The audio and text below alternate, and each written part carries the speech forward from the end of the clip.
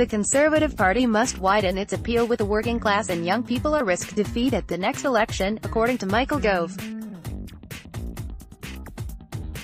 The Environment Secretary will urge party chiefs to go further in attempts to attract a more diverse set of supporters at the launch of new think tank, Onward.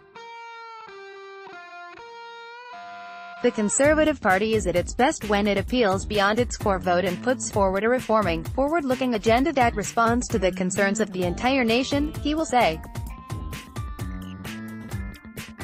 At last year's election, we proved that our values and policies resonate in places once thought impenetrable labor strongholds, but we need to go further to convince more people that we understand the need for change. The new centre-right think tank has been set up by Conservative MP Neil O'Brien, and former advisor to Theresa May, Will Tanner, and is also backed by Scottish Tory leader Ruth Davidson. They will point to new figures which show that only one in five BAME voters support the Conservatives while the proportion of BAME voters in the UK is expected to double over coming decades. The Conservative Party will not win from its ideological fringes. Mr. Tanner said. It can only regain a serious majority by putting forward a positive agenda in the mainstream of public opinion and appealing to a broader range of people as possible. He added, we need to be the party of both traditional working class who are disillusioned with Corbyn's Labour and the party of younger, metropolitan voters at ease with the modern world.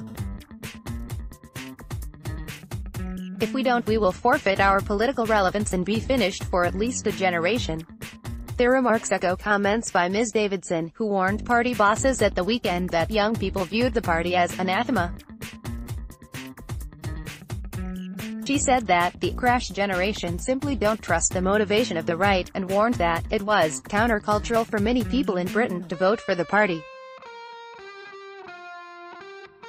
Mr. Gove's speech follows reports that the party are mulling a new scheme to offer discount cards to entice new members to stump up the £25 a year membership fee. proposal currently being considered by party chiefs would see new Conservative members offered discounts on food, clothes and other items in a bid to boost the party's flagging membership figures. One senior party source told The Times, the discount card is a very real possibility.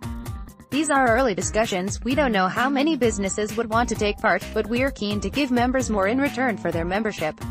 The Conservatives revealed earlier this year that they have 124,000 members, compared to Labour's 550,000 members.